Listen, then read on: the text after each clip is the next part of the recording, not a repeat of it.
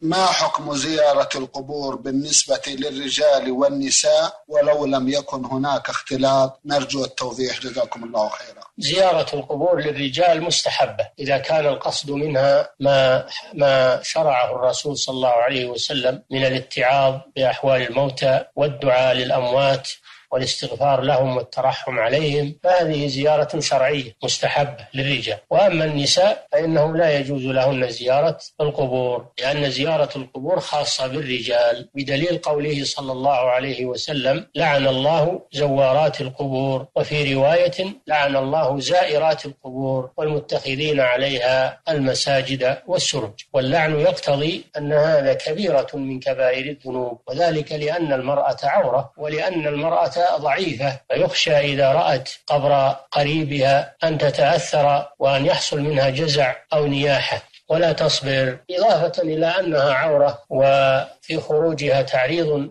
للفتنة لأنه قد يكون في المقبرة رجال وغالبا ما يكون فيها رجال ويحصل اختلاط هناك فيحصل بذلك الفتنة. نعم.